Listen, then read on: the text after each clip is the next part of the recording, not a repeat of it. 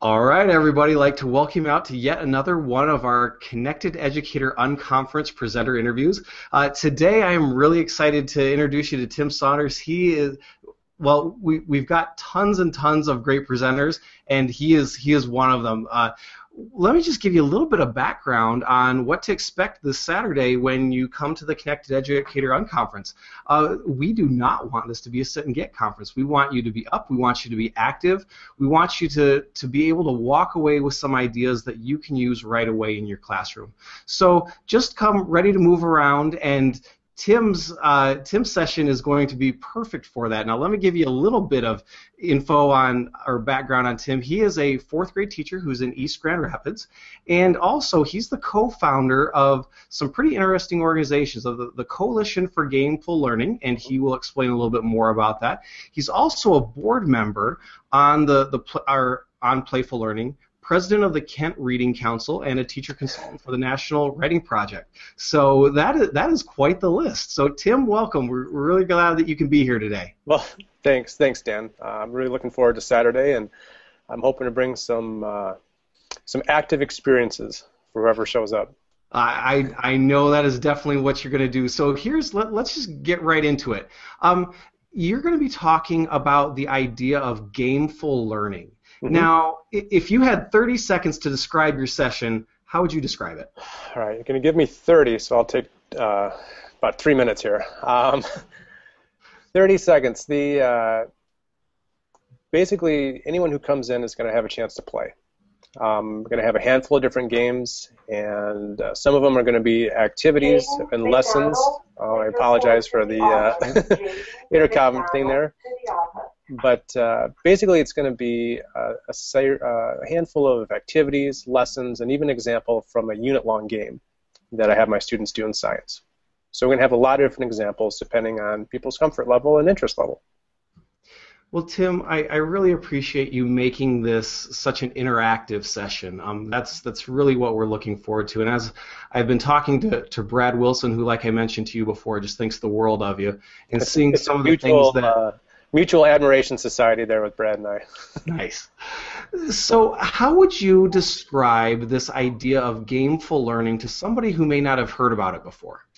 Right. Um, for a while now, gamification has been kind of a big buzzword in education, and it's something that I'd say gameful learning goes a little bit beyond that. It's beyond uh, maybe adding video game language or vocabulary to lessons in school and assigning points and quests and things like that, and looking at games more holistically. Um, one thing I'm a big fan of is taking pre-existing games like the Zobmondo game, Would You Rather, and finding different ways to implement that in all sorts of different subject areas. Um, I've had students play that type of Would You Rather game in uh, in language arts, I've had some math teachers do it at the high school level that I know, um, and that's, certainly gameful, um, and that's something that uh, I want. You know, I think is a a good uh, good tool for the toolbox for just about any teacher. So, okay, quick story. Just the other night, uh, my kids and I we played Would You Rather, and they just absolutely love that game. And and as you were describing that, I kind of had my little aha moment of realizing that this isn't necessarily about technology. This is more about the, the, the concept of, right. of, the game in, in the learning process. Right. Um, we've. I'm really fortunate to be in East Grand Rapids, where all of my students. Um, I'm a part of a netbook pilot, and this is my fourth year of having uh, a one-to-one classroom. And we certainly engage and, and try to leverage that as much as we can, but games can be way more than uh, video games or uh, apps. They can be uh, hybrids. You know, you can have a mashup of analog and digital um, components and elements, and you can do a lot of gameful things with that too. And I hope to bring an example of that for people to play when they come down, uh, when they come on Saturday. So, Tim, one of the things that I think is really important, not just for this conference, but also just teaching in, in general, is the idea of, of why. Why do you do this? And so, yeah, could you explain a little bit about why this is such an important piece of your classroom? Yeah, I think the, the biggest uh, draw for me is the engagement level. You know, when students are playing a game, it's uh, they relax a bit, right? they're the it's not school anymore, right? It's they're they're a little more a little more interested in taking risks, right? It's not like you if we're playing a, a game in math, um, it's not like a worksheet or IXL or something like that where if they get something wrong, there's a consequence for it. You know, they they tend to be a little more adventurous. They tend to be higher risk takers. They tend to be more creative thinkers.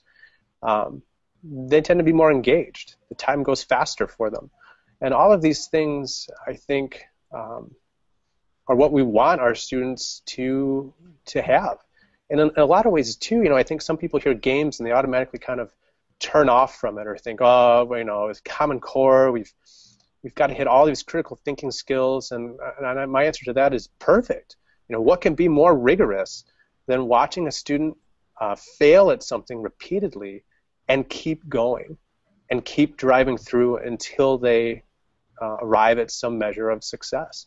And I think that games are a really great way to teach rigor, um, and you know, typically through engagement. Now, of course, um, you could also pose that argument of, well, you know, what about those really tough things that they have to do? Well, you know, I mean, my my classroom isn't just games, although it's there's certainly a lot of it. But I think that they're able to be a bit more tenacious um, when they can kind of translate that rigor skill of trying to succeed and trying to master a game um, at school to other school you know activities, the the stuff that happens maybe in some of those other classrooms that we, we try to nudge people into some different different ways of thinking or or trying stuff. You know, Tim, I've always been fascinated by that idea of the learning cycle and, and kind of the, the looping that happens in in games. I watch my kids play Jenga and they'll spend forever just trying to figure out the exact how to do that. And even though it all falls down over and over again, they always put it back together and try again. And I, I love this idea of making the learning process like that. We're taking risks, we're trying something new, isn't or is encouraged rather than discouraged because they know that it's going to be a, a process rather than a one-time shot to get something right. Right. Well, you think about it, when you hand a paper back, you know, a worksheet back to a student, and they, you know they have half of them correct, well, what's their motivation to complete that?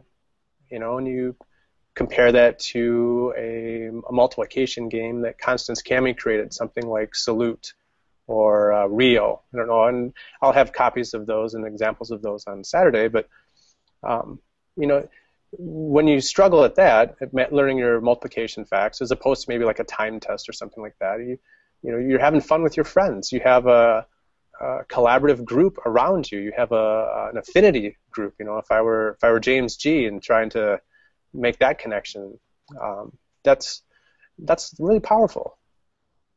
It is, and let's let's kind of switch gears a little bit and talk about your session on Saturday at the Connected mm-hmm. Educator Unconference for the people who attend your session, what do you want them to walk away with? Ideally, I'd, I'd like them to walk away with uh, one or two games or one or two ideas that they could put into play right away when they come back to class on Monday. Um, on top of that, I'd really want them to understand the importance of debriefing, okay. which is when you finish playing the game, it's when you sit either with the group of four or five who played it, or maybe it's a whole class discussion and you reflect on and discuss what was it that we just did. You know, I mean, there's you can look at it from a couple different ways. You can look at it from a content or curricular level and what did we just learn, what did we just do, and then there's the other part of it of what were some of the life skills? How did we play this game? You know, did we have to collaborate or compromise in some ways to get to a, uh, you know, an optimum result? Did we play against each other? You know, I, I think that that's a very, very critical part of using games in the classroom is having that time to debrief. So Saturday, come on out. We'll, we'll play some games and we'll talk about them, and then hopefully you'll leave with uh, some new ideas or something you can take back right away to your room and, uh, and implement on Monday if you're moved. well, Tim, this this sounds fantastic, and we're really excited that there's gonna you're gonna have 75 minutes to really let the, the attendees kind of dive in, this hands-on, learn by doing sort of thing, so that you can have as much time as possible. What kind of things would you like teachers to either bring with them or to do before they come to your session?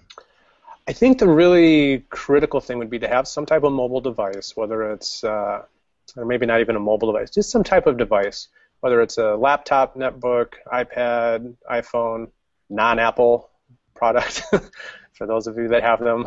Um, and then uh, I think if you really want to get the maximum out of uh, an example that I'm going to bring for people to play from a unit long uh, game that I do, I would say create a Wikispaces account. Okay. I think that would be um, if you have that in hand, if you know if you have a Wikispaces login, username and password, if you have that in hand ready to go, then I'll have something really fun for you to do, uh, kind of like a unit long science game. It'll be a lot easier for um, for you to get into it and have a chance to play some other stuff too if you've got that ready to go. Excellent. Well, Tim, I, have told you once, I'll tell you, tell you a bunch of times. We are so excited to have you come down to Jackson on, on Saturday. You, you're doing some great things in your classroom, and Thanks. more than anything, we just we, we appreciate you being willing to, to share that with, with other teachers. So I'm, I'm happy to come down. This is I'm really looking forward to it. It's it should be a fun time. It's going to be a good day. All right. All right. Well, hey, we will we will see you then. All right. Thanks, Dan.